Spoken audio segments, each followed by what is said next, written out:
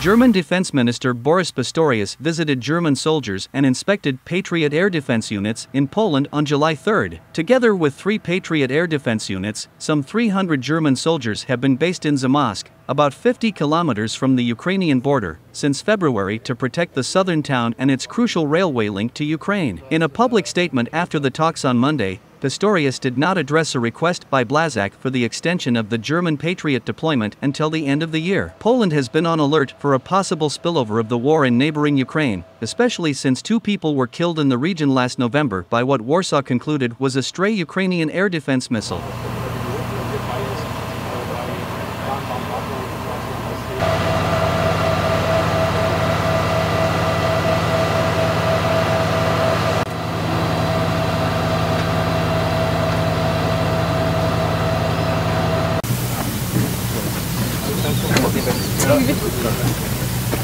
Und wieder die guten Wünsche.